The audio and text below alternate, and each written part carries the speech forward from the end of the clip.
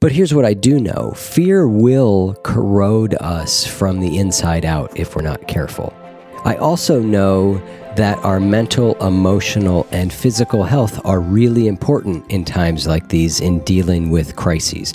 So it's important that we find ways to allow the fear to be there, allow ourselves to stay informed about what's going on out there, but also not let the fear and the agitation control us, take us over, because that wears us out. It wears us out mentally, emotionally, ultimately physically, and that does not help us or the loved ones around us in our communities that depend upon us. So we've got to find a way to engage with this in a skillful, useful way. We've got to find a way to feed our good wolf when it comes to dealing with this circumstance. And that's kind of what I'd like to spend just a couple minutes talking about in this short episode. Several different ideas came to mind for me when I started working on thinking about wanting to say something brief here about all this. And and the first that came to mind was uh, the author Mark Nepo, uh, who we interviewed recently. That episode will be coming out. But um, he and I were talking, and he had a line that really stuck with me that said, We become addicted to the noise of things falling apart. And he actually, that line was written outside of this context, but in this context, it makes a lot of sense we are uh, very much addicted to the noise of things falling apart in general. And in this particular circumstance, many of us are addicted to watching what's happening. I find myself turning to Twitter and the news way, way, way more than I normally do. And again, some of that is good, but a lot of it's not. And what I am is I notice myself sort of becoming addicted to the news cycle, to the spin, to the speed, to the urgency, to the, the whole thing. And that I can tell isn't good for my insides. You know, the other thing that he said about this, we become addicted to the noise of things falling apart. And I love this. He said, but things are also always coming together. Things are always falling apart. That's the nature of things. But things are also always coming together. It's just that those coming together moments are a lot more quiet. And we have to actually make a point of turning towards them, of turning towards something deeper. And that's really, I think, the, the first pointer I would give here is that what we want to do is we want to continue to turn towards what's deeper in us, what's deeper in our spiritual practice, what's deeper in our personal practice, what's deeper in our lives, right? A lot of us are getting time to spend more time with the people in our lives that we love than we normally do. And we could look at this as a burden and for a lot of us, it's a surprise and it's a change. But this is also an opportunity to have the people we love closer to us, to spend more time with them and more care on them. And so, how can we find a way to nurture that, enjoy that, and appreciate that? In any sort of crisis, there's the, there's the classic I don't even know if it's true that the Chinese character for crisis is opportunity. I don't know if it's true or not, right? But in any situation, there are opportunities, and there are opportunities in this situation.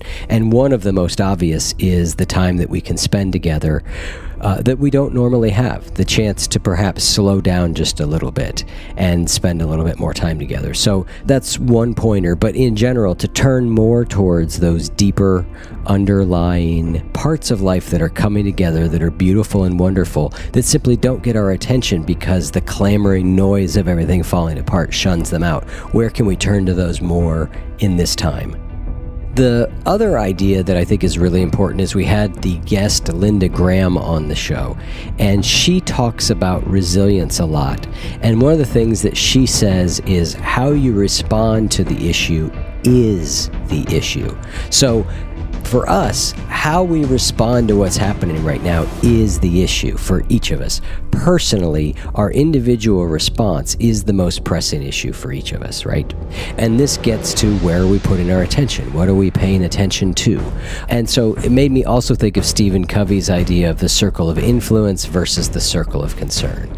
And what Covey basically says, and you have to imagine two circles there's a big circle that's our circle of concern, and then inside of it is a smaller circle, which is our circle of influence. Circle of concern are all the things that we care about, that we worry about, right? So the news, the coronavirus, or the response to it, all of that, that all falls in the circle of concern.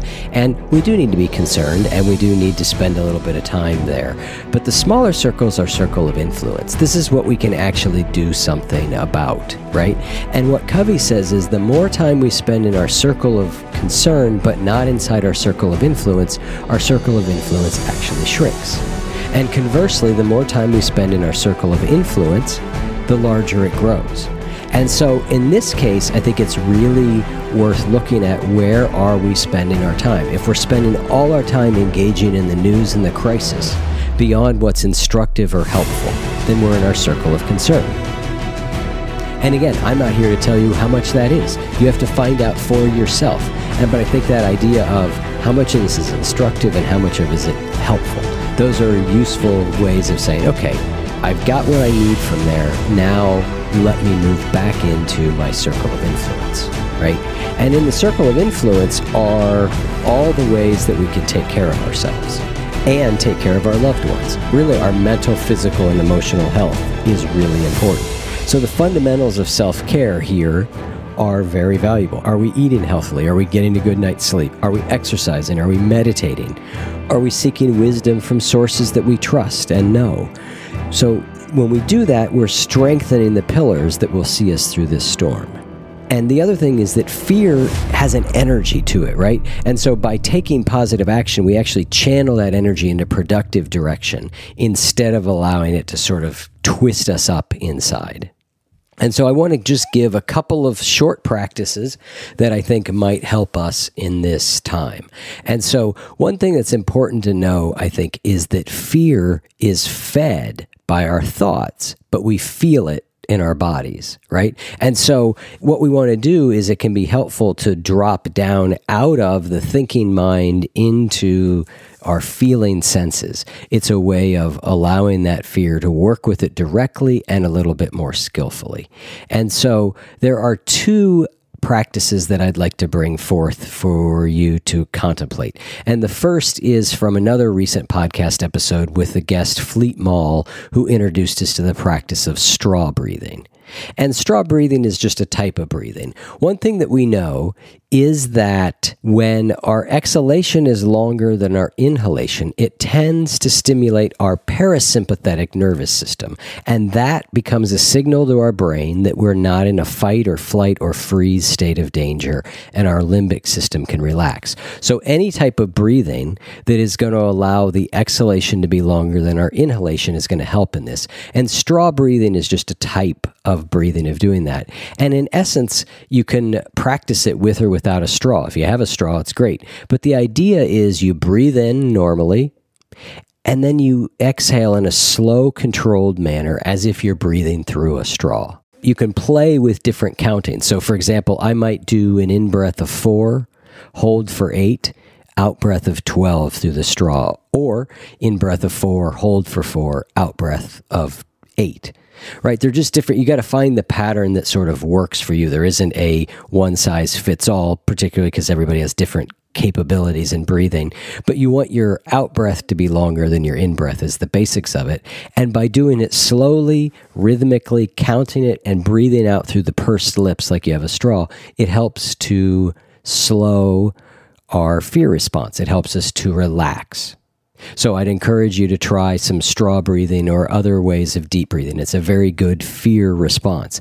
The thing about it is, most of us tend to try it when we're really highly stimulated and we're like, all right, I'll take a couple deep breaths. And the world doesn't change overnight from taking two deep breaths and we abandon the practice. So this is a practice that you can do over time and we actually get better at doing the more we do it. So I'd encourage you to just work it in. I've started doing this straw breathing at the beginning of my meditation practice because what I find it does is it actually settles me down in general. And so I might do uh, 20, say, uh, cycles of that breathing in for four, holding for eight, out for 12. I might do 20 cycles of that before I drop into meditation.